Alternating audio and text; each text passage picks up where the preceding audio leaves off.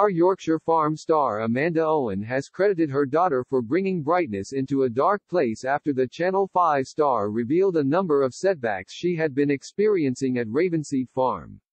Amanda Owen, 48, announced her split from husband Clive Owen, 67, back in June. The former couple bought a remote farmhouse in 2020 and were granted planning permission to renovate the property. But the Our Yorkshire Farm star recently admitted that work on the place had been delayed, as she shared a number of other farm struggles with her fans. Amanda took to Twitter yesterday to share an update with her 205, 1,000 followers, including a picture of daughter Nancy holding a large lightbulb as she sat amongst the hay. Bringing brightness into a dark place, the Channel 5 star penned with a lightbulb emoji. In the sink mew, usually stacked from floor to ceiling with hay bales.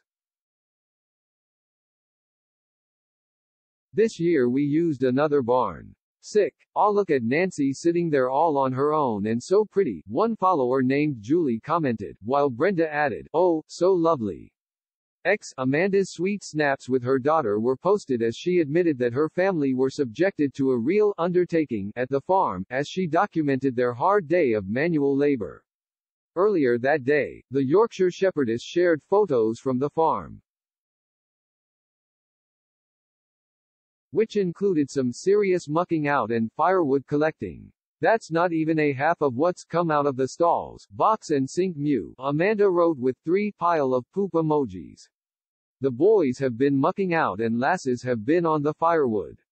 What an undertaking. Hard work but worth it to get free firewood, penned Kim. Good to have all your little helpers. I miss all my children as they're all grown up with their own families.